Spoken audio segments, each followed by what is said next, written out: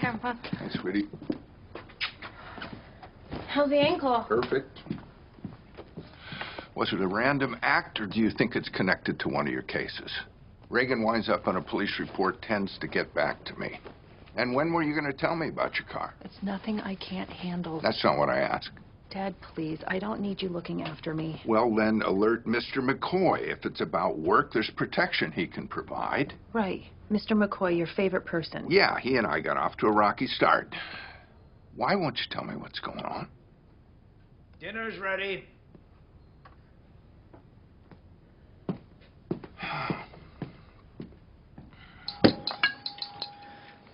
I know I never do this, but I'd like to say grace today, if that's all right with everyone. You got it. Just want to say how blessed we are to have this food, this house, four generations of Reagans sitting around this table. We should never take that for granted. It's an order. Amen. Well said, Jamie. What's with wearing your heart in your sleeve today? Jamie's playing big brother to this kid, this homeless kid. TJ's 13 years old. He's been bounced around from family member to family member. He doesn't even have the basics. Regular meals, with a roof over his head, so it was humbling. Does he go to school? Yeah, he did in Baltimore a little bit, but his aunt, who's taking care of him here, hasn't enrolled him. Doesn't she care about him? Yeah, but I don't think she can really take care of herself, Sean. Family is the original Department of Health, Education, and Welfare. If that starts to fall apart, everything goes to hell. Amen to that, too. What kind of case is that?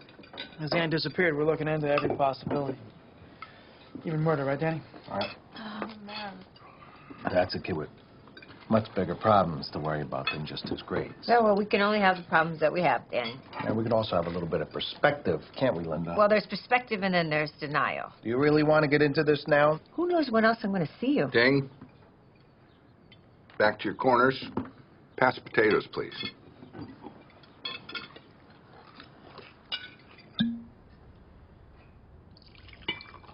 I just want to crash in the city a few nights a week.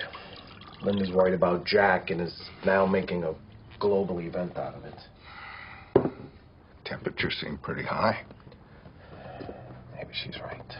Maybe there are other reasons that I don't want to come home. I don't know. No marriage is perfect. Most aren't even close. Yours and Mom's seem pretty close.